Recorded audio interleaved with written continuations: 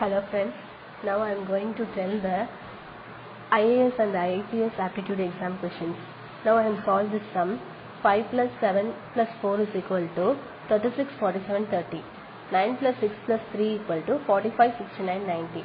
Now we find the 7 plus 3 plus 5 using the same logic.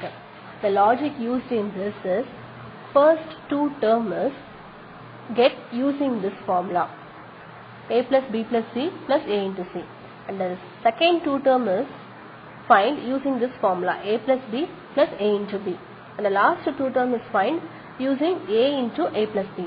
Now i will solve this type. 7 plus 3 plus 5 first two term.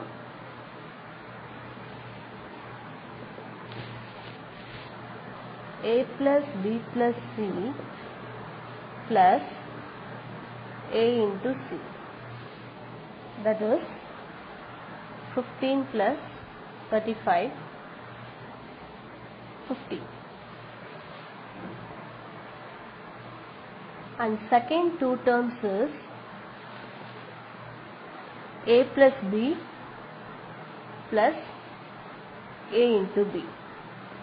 That is 7 plus 3 plus 7 into 3 10 plus 21 is equal to 31 and the last term last two terms